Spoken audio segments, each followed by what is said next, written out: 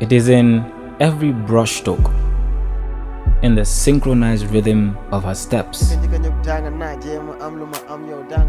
in his voice as he sings, those colors that brings harmony out of conflicting walls, in his strength, and her taste that defines beauty.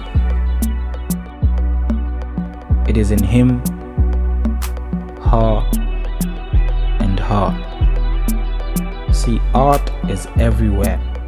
It just takes a special eye to see it.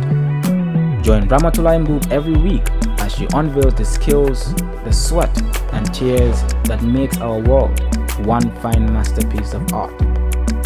Art World, it's in you.